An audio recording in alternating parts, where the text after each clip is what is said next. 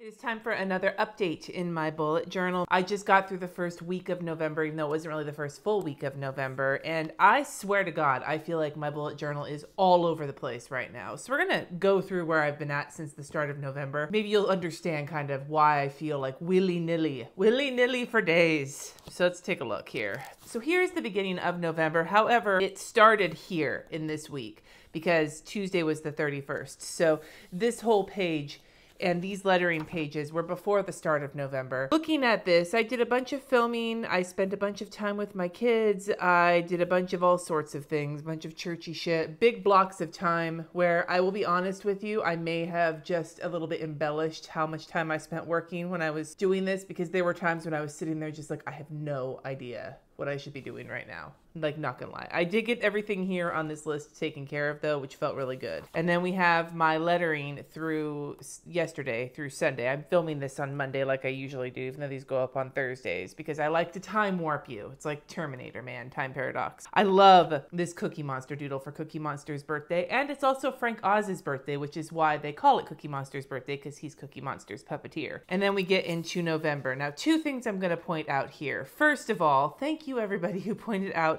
I didn't even notice this. It's even in my thumbnail from last week's video. 17, 18, 19, 19, 21. I am, I am, I am that good.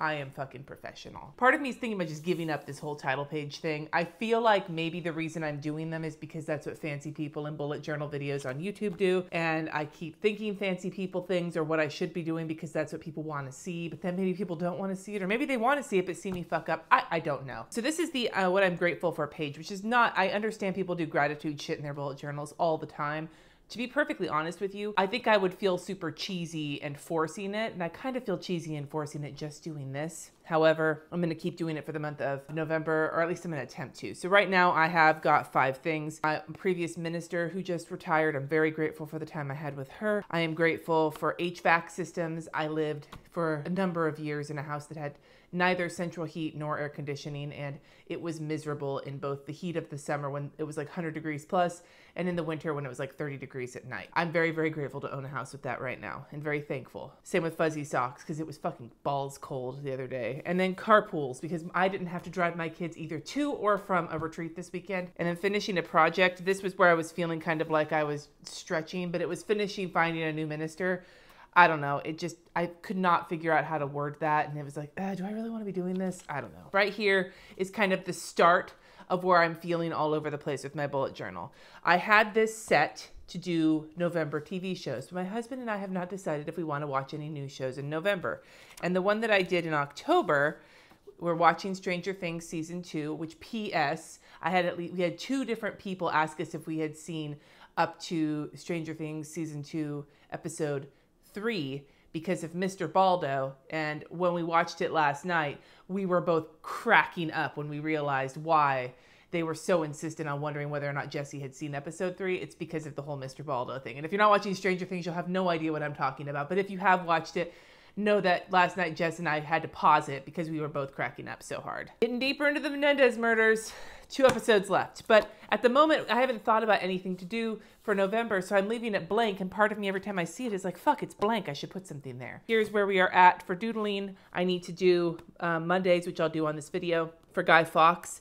I did his hat and his little mustache because I didn't feel like drawing the actual mask. And then for Oodles of Doodles, so far we have what? Hedwig, a quill, the sorting hat, a wand, and a snitch. And I'm hoping that everything will kind of start meshing against each other, but I just haven't done that yet. And then here we are for habit tracking. I've been pretty good at staying on top of my habits and my pain tracking. I have not been great with all of them. There's at least one I haven't done anything on yet because I've been so all over the place. I did manage to wake up at 6:30 though, and yesterday I did it not on purpose but because of the time change. So I feel like I'm doing okay and I could do better. I'm keeping track of my pain levels. As you can see, I tend to get worse in the evening. Remember when I say this that the yellow, which is like the base, is not really great feeling, but it's kind of my new normal. So there is that. As for blood pressure, I've only done two mornings so far, so I need to get better at this. Damn it. Not because I need to have a blood pressure tracker in my bullet journal because it's fancy, but because my doctor's like, track your fucking blood pressure, Cindy. So I need to. Now we get to my week, and I actually did all seven days here. And I originally left this page blank because I thought I would just keep going across it and run like Gryffindor washi tape across the top and the bottom. This PS is from Simply Gilded, and I love it. But I haven't done that yet. I'm, I might just start today's here. But this is where I'm starting to feel willy nilly. I'm leaving blank pages. I think there might still be one in the October land as well. Like somewhere in here, there might be a blank page that I had left for something and I just never did anything with. I, I don't remember whether I have that or not. But like having these couple of blank pages and not really sure, like, I feel like I keep leaving blank pages and then I mean to put a post it note on them to remind me what I'm going to do next. And then I take it off because I don't like that little bump when you're writing on the other side of the page. And then I'm like, wait, what the hell do I want to do with that page? I might just continue my bullet journaling for this week, starting it here and just do my habit tracker on another page, but then it'll be removed from the week, which with this, I will tell you, having my bullet journaling here and my my time tracker be all the way back here is why I lied on some of this or like fudged it because I kept forgetting to get all the way back there because they were so far removed from each other. But if I put it here, my bullet journal's not going to start for another another spread because I have something else going on here. So if I start it here and bullet journal here and just find something else to do for here, it might be, I, I just don't know. So I'm to keep thinking about that while I finish walking through this. This might seem like a first world problem, but I just, I leave these blank pages in anticipation of needing them for something. And then I, it doesn't work out that way. And it's really irking me for some reason. And then here is my Thanksgiving planning, my faux Thanksgiving planning, because my family, we do a Thanksgiving on a different day because of different work schedules and people coming from out of the state. This is information because I am hosting it this year. So big grocery list. We have, this is our guest list thus far. I think we're at 31 people and we maybe add an additional four. So it's like be 35 people. So we have our big conference call that we do, my sisters and I, to figure out how much food we need. Every year we do this huge Thanksgiving dinner for tons of people in our family and my sisters and I do the bulk of the cooking. If you would like to know how, see how kind of the process is, how we plan that, let me know in the comments and I might be able to get a video up on that. And then this is where I'm at. So like I said, I have this blank page and I haven't decided what I want to do or where I want to start it. I think what I'm going to do is I'm going to keep bullet journaling here. I'm going to put my time tracker here and then I'll keep bullet journaling here and then this spread will be my lettering. So I'm going to draw my lettering in first so that I can take care of my challenges for the day. I'm still using my Tombow mono drawing pen right now because that's just the one I'm enjoying the most at the moment.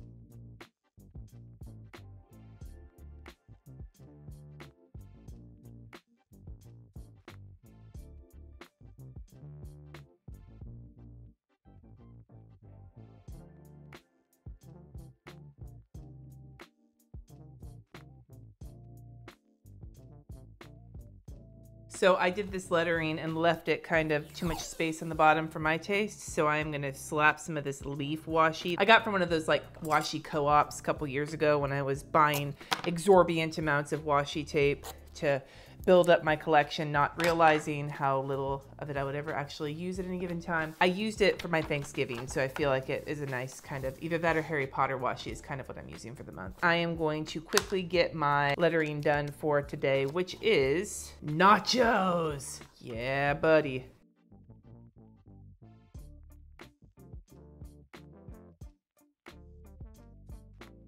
Not really sure how I almost managed to run out of space on that, and it's only a, what, six letter word? Jesus.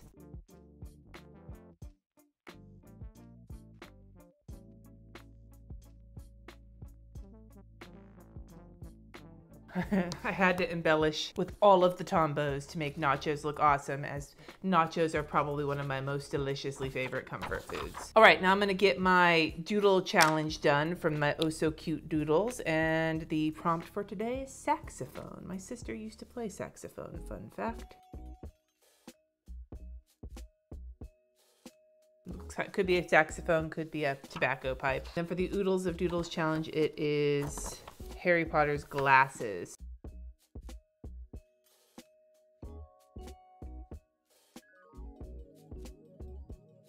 I'm going to continue bullet journaling on this page, and I think that this will be my new time tracking page. Let's get that drawn in. Let's see, I don't know if my, I haven't done it in this bullet journal yet on that side of the page, so this should be an interesting experience to try and get this drawn in if I can fucking find where the last one. Like I said, this is so wacky having it be so far away, but hopefully I'll get back on track sooner rather than later. And damn it, putting this washi tape down has made it so I can't see how many squares to count down. First world problems.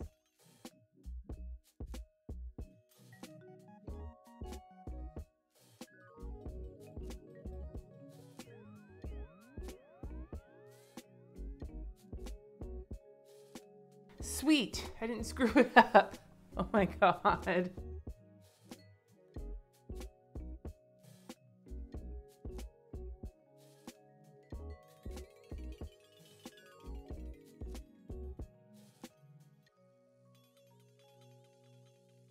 I've been really liking using this priorities box to like mark out my priorities through for the week. So I've been enjoying that and I think I am going to continue doing that for at least the foreseeable future. It's not a schedule or even a to like a task list like for all of my tasks. It's just specific tasks that need to be accomplished this week. Have, being able to complete them, it looks really nice. I like how it looks with like the check marks. So I need to just be able to do that. It's like a psychological warfare on myself. I'm trying to force myself into getting shit done. So right now I'm gonna fill in those priorities for the week.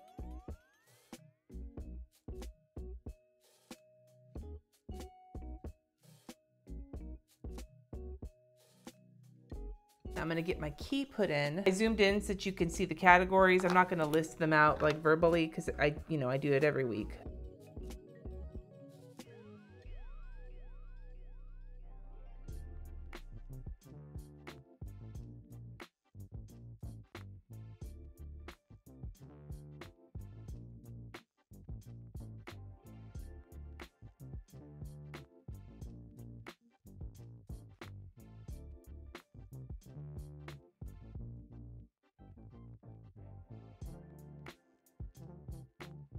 I try and experiment. I'm going to use this um, Harry Potter washi from Simply Gilded. I used Gryffindor on those previous pages. If I had a Harry Potter house, I would have be a Ravenclaw. So I'm going to Ravenclaw the shit out of these pages. In my family, fun fact, we basically represent the entirety of the Harry Potter houses because I consider myself a Ravenclaw. My husband would most definitely be a Slytherin. My daughter, that is not where I wanted to be. My daughter considers herself very much a Hufflepuff. Matter of fact, she was a Hufflepuff student for Halloween. And my son is very much a Gryffindor. So between the four of us, we have covered all of the houses. And I can just stick the washi tape on the top to do bullet journaling on this side, which I'm not going to do yet because, as I've been saying, I never seem to manage to do what I want on those pages. So we're to leave it like that. But really quick, I am to fill out my time tracker for thus far today.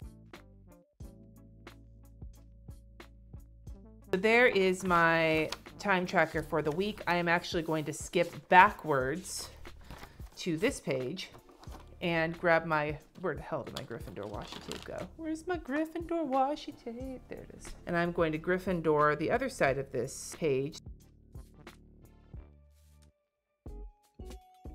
I wasn't intending for this this month in my bullet journal to be Harry Potter themed. I just had just gotten the washi tape and was super excited about it, so I wanted to keep using it.